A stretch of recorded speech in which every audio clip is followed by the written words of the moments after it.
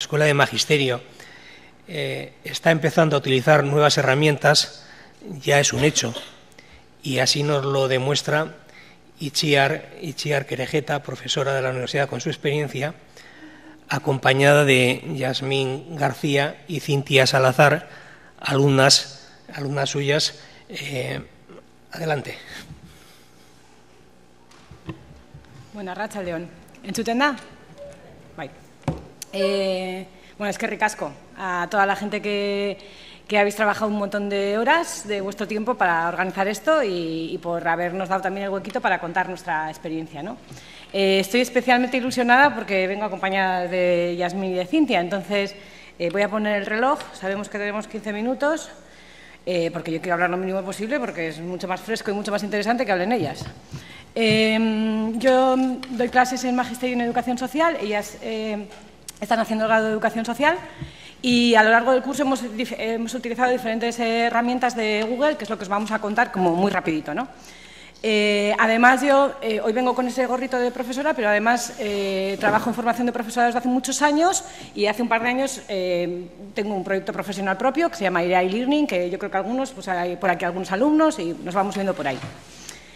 Em, como os digo, no me quiero enrollar nada. Eh, sí que, bueno, partir del contexto, eh, para mí trabajar en la UNI a nivel de instalaciones es alucinante. Em, las alumnas a veces se quejan de que la wifi en las aulas ordinarias no funciona muy bien, pero el resto es alucinante. O sea, los ordenadores todos funcionan, se arrancan al momento, eh, todo se proyecta rápido, no hay virus. bueno, a mí me parece como una maravilla. Y es verdad que eh, yo he trabajado siempre con otras condiciones más precarias y es verdad que, esa infraestructura pues, te anima mucho a hacer más cosas y a pues, hacer vídeos en directo y pues porque sabes que va a funcionar o que va a haber alguien que te va a ayudar. ¿no? Y eso para mí es una, bondad y un privilegio que, hay que contar. Doy tecnología, la información y la comunicación en magisterio y en educación social. Esto es pues yo creo que la antítesis de la universidad y del entorno, económico, del entorno académico, ¿no? O sea, ¿qué das tú a futuros, vosotros os imagináis, a futuros docentes, ¿no? ¿Qué les das tú en tecnología, la información y la comunicación? Es un mundo, ¿no? La tecnología, lo grande que es, la información y, lo cambiante que es y, toda la, infoxicación en la que vivimos, ¿no? El entorno académico de la universidad que es todavía eh, muy, muy pautado, muy cuadriculado, muy, muy estrecho, ¿no? Con la tecnología por en medio y ya entramos en la comunicación, que si ya la información y la tecnología son conceptos complejos, pues la comunicación a ver quién se explica bien y a ver quién entiende bien y a ver quién sabe realmente de comunicación. ¿no? A mí me parece que es una cosa súper compleja y que además eh, con las TIC, realmente con, la tecnología, lo que tenemos es ese aforo, ¿no? que lo que estoy contándoos a vosotros y lo que les decía a ellas antes de venir. A ver, nosotras ya hemos hecho, porque ya estar aquí y la presentación que tenemos y que esto se va a retransmitir y tal. Aquí nos van a escuchar algunas personas, pero, pero nuestro aprendizaje, lo más importante ya lo hemos hecho y además va a quedar ahí, ¿no? Eso es lo que tienen, ¿no? También las TICs, ¿no? Ese, ese, ese altavoz o todas esas personas, ¿no? Hasta dónde puede llegar nuestro mensaje. Ellas, eh, realmente este es el grupo suyo, aquí están eh, eh, Yasmín y, mm, Cintia. Y bueno, yo les veo el futuro, ¿no? Para mí es una responsabilidad de la pera y estoy súper agradecida y realmente muy ilusionada que, hayan venido ellas y que, y que os puedan contar. Yo, pues eso, entre el, entre el, futuro y las TIC, ¿qué es lo que hago? Eh, pues, pues mira, lo agito un poquito en la tal y tiro así tres dianas y venga, a ver qué podemos hacer en este cuatrimestre, ¿no? Entonces, eh, me planteé tres cosas. Una, que se apropiaran de la tecnología, que realmente yo como profesional, mm, ¿qué voy a hacer con esta tecnología? Que hacerla tuya, ¿no? Eh, dos, crear, comunicar eh, en digital, que tengan capacidades como para editar un vídeo para poder escribir algo o para, ¿no? para reflexionar. Y conectar y salir. Salir un poco de, los entornos siempre cerrados donde, donde están trabajando. ¿no? Y para eso el G Suite nos ayuda bastante. Son tres cosas las que yo me he planteado este año, el que viene seguro que otros, claro. Eh, los recursos de partida, eh, las fuentes, lo que es el libro, el contenido, eh, pues el marco de competencia digital y, en su caso, los documentos profesionalizadores. En el caso de Magisterio, es Iberri, el currículum. Esas son las fuentes y en las fuentes también tengo a Josi y a los amigos. Esta es una foto de Josi que se conectó con nosotros con el grupo de Magisterio en, el primer cuatrimestre. ¿no? está el contenido y está la red. esas son las fuentes de aprendizaje hoy en día. ¿no? Y estas son las actividades, que ya os las van a contar ellas, las actividades que hemos hecho de, G Suite. Y os dejo con ya con Yasmín. Eh, sí que quería decir también al principio que no me he dado cuenta que tenemos 15 minutos, yo ya sé que voy rapidísimo, eh, pero lo más interesante es eh, lo que estamos contando, que vosotros nos podáis preguntar algo para que realmente haya una interacción. Entonces vamos a cuidar terminar hacia el minuto 12-13 para que, así que ir apuntando y nos vais preguntando, ¿vale? Eh, bueno, nosotras, eh, bueno, como han dicho ya, eh, somos de segundo curso de Educación Social y, bueno, en cuanto a la metodología que hemos utilizado en las TICs, ha sido bastante fuera de lo tradicional, porque la verdad es que nosotros tampoco sabíamos cómo íbamos a dar esta asignatura. Y lo que hacía Itziar era darnos, plantearnos unos retos, unas actividades y darnos unas herramientas y con eso nosotras eh, hacíamos lo posible para sacarlo adelante y de hecho lo hemos ido sacando. Eh, todas estas cosas las hemos eh, ido subiendo a, un blog de Blogger que, de Google y bueno, ha sido pues nuestro cuaderno de clase, ¿no? en vez de con papel y boli, pues en el ordenador. Luego otro ejemplo podría ser el editor de YouTube nos planteó hacer un vídeo definiendo educación social y pues con lo que pudimos sacar lo editamos en el editor de YouTube y bueno, muchos ni siquiera sabíamos que, eso ya existía y fue una forma de saber algo más y poder utilizarlo. Y luego también nos dio la gran oportunidad de hacer eh, una videoconferencia a través de Hangouts con otros estudiantes de Educación Social de Murcia, de la Universidad de Murcia, y bueno, mi compañera os cuenta la experiencia. Bueno, Racha León, uy, se escucha, ¿no? Eh, bueno, sí, como estaba comentando mi compañera Yasmín, hemos tenido la gran oportunidad de formar parte de esta actividad llamada Hablemos Eduso. Y pues bueno, lo que consta un poco de esta actividad es hacer una videoconferencia. Eh, hicimos una videoconferencia con estudiantes de educación social de la Universidad de Murcia y pues hablamos más que nada sobre el tema de las tecnologías, las nuevas tecnologías, la importancia que tienen en la educación social.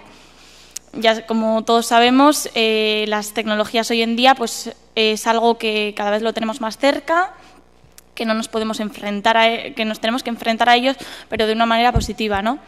Y pues salieron ideas súper chulas, la verdad.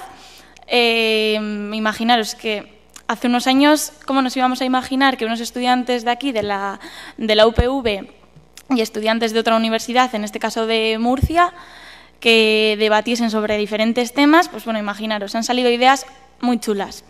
Y ha sido una experiencia pues que nos, nos hemos quedado como con ganas de más. Todos los que hemos participado nos hemos quedado como con ganas de más. Como que ha quedado un poco, no se nos ha quedado corto. Y pues eso, que nos gustaría que esta experiencia se llevase a cabo mm, en más, en, más, eh, en otras asignaturas, en, que siguiese un proceso, que no se quedase solamente en la actividad. Y eso, que hemos estado muy contentas y que hemos disfrutado mucho. Y poco más. Eh, tenemos eh, un vídeo de dos minutos en el que podemos poner la voz de los los estudiantes de Murcia que contribuyen un poco más a esta experiencia conectada, ¿no? porque en verdad eh, para lo que hemos utilizado sobre todo G Suite, como veis, es para eh, hacer videoconferencias con otros estudiantes o con profesionales del sector, como con Josi o con otras personas del Berrechegún, en el caso de Magisterio, que les explicaron los proyectos que había eh, actuales en marcha. es una forma muy fácil, ¿no? en vez de traer a la persona al aula, conectas con ella y, lo íbamos haciendo. También es de destacar que en ninguna persona de ninguno de los dos grupos, eh, ni primer cuatrimestre ni segundo cuatrimestre, había usado Hanout nunca. No lo sabían, y lo tienen todos en el teléfono, claro, porque todos tienen cuenta de Google. Eh, entonces, bueno, solo el hecho de, haberlo trasteado y probado creo que ya es un avance. ¿no? Eh, vamos muy bien de tiempo, entonces os voy a poner, si os parece, el cachito de vídeo, porque esta presentación que ya la hemos tuiteado eh, tiene el enlace a todos los. No, este no es el vídeo, es este. Tiene el enlace a todos los vídeos y todas las actividades que han hecho. Hay un ejemplo de un vídeo de educación social, hay un ejemplo de, de blogger. un a ver si lo pongo a pantalla completa. Dos minutos 29. La voz de los estudiantes de Murcia. las nuevas aplicaciones que van surgiendo y que de un día para otro estamos comunicándonos de una manera o de otra, dependiendo de, del instante en el que estamos en ese momento. Entonces, como estamos en este cambio, eh, como que no nos vamos a tener que preocupar tanto en el futuro, sino como que en el momento se nos van a ir ocurriendo cosas y nuevas maneras para hacer de nuestra labor un poco más fácil, de que encontremos nuevas maneras de trabajar. Yo creo que eso va a ir surgiendo porque depende de la. ¿Lo estáis entendiendo? ¿Se entiende? Más o menos. La primera idea, la primera, sí, yo creo que luego se entiende mejor. Esta primera idea dice, las tecnologías eh, nos van a llevar hasta, hasta donde la imaginación nos pueda llevar, porque están a nuestro servicio. La imaginación que le echen, ¿no? El otro día hablando dijimos que los proyectos que se quedan hasta la, hasta, hasta la imaginación que tú le quieras poner.